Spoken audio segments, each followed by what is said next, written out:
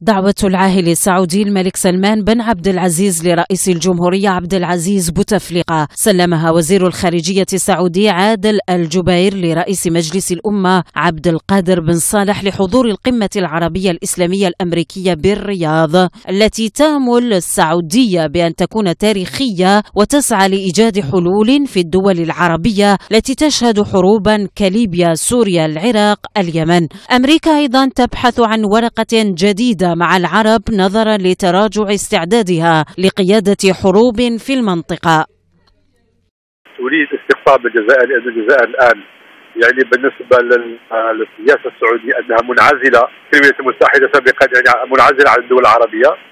لكن الانعزال هذا ليس انعزال يعني سياسي. الجزائر تريد أن تتدخل في الشؤون الداخلية بعض الدول خاصة فيما يتعلق بالبلد اليمنية سوريا والعراق وغيرها.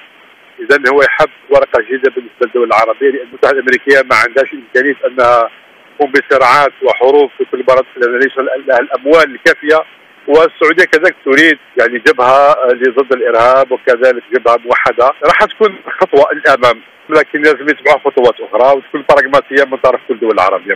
الجمهورية الإيرانية ستغيب عن قمة الرياض التي من المنتظر أن تخرج بتوصيات قد تخدم المنطقة العربية وتقوي علاقات الدول العربية المحتم عليها الحفاظ على وحدتها واستقرارها.